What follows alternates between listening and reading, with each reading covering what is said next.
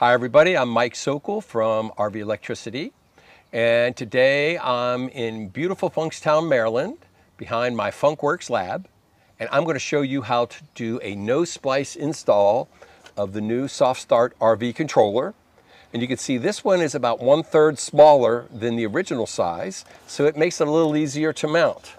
Let me show you what you're going to need first. You go to Soft Start RV and you'll see on a section on there where you can download all the various schematics for this to show you how this hooks up. So once you've got that in place, then we're ready to begin.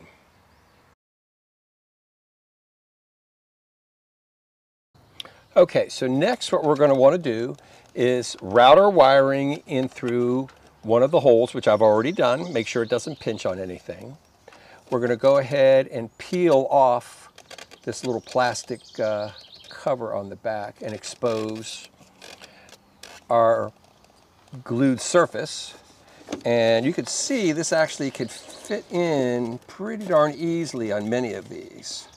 Now I'm going to add some additional screws through later um, and I'll show you some cable management tricks in a future video.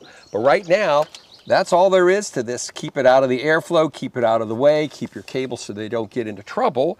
Um, and now we're on to the next part of this. So you can see on the schematic, one of the things we're going to do is over in this little relay, we're going to go ahead and disconnect this blue wire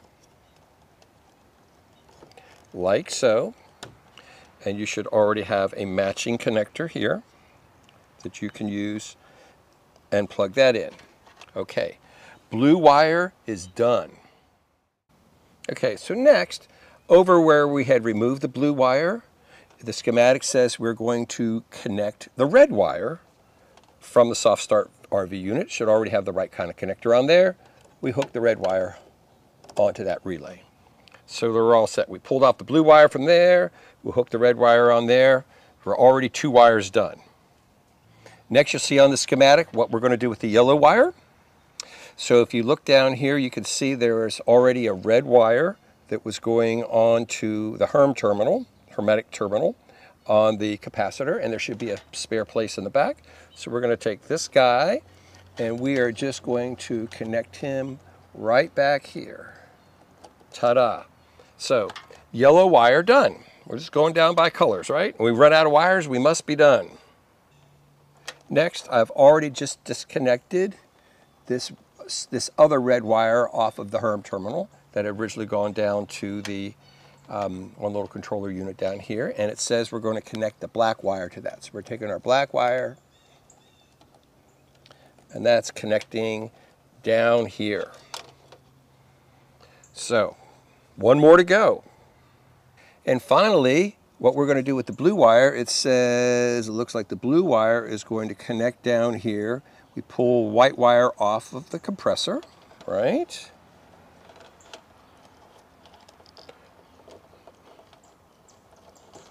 And that is going to connect right up here. Ta-da! We have all of our wires connected. We are ready to go. It's no more complicated than that. Okay, now, a few safety things. Remember, always unplug everything before you do this. Unplug your inverter, make sure that that's not powering up in any way. Unplug from shore power, you're not connected in any way, no generators running or anything. Also remember, when you're up on a roof, 13 feet up is a long way to fall. I've never fallen 13 feet, but I fell 12 feet one time, and it was not pretty. So you want to be very, very careful with that. Make sure you have the correct schematic to, uh, to do the installation. If you don't, you can contact the guys at Soft Start RV. They will in fact show you uh, the correct schematic or they'll draw you a brand new one, whatever you like.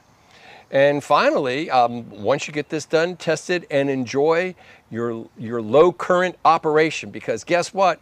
You're gonna love this thing. Okay, I'm Mike Sokol from RV Electricity, coming to you from the lovely Funkworks Lab in Funkstown, Maryland. See you soon.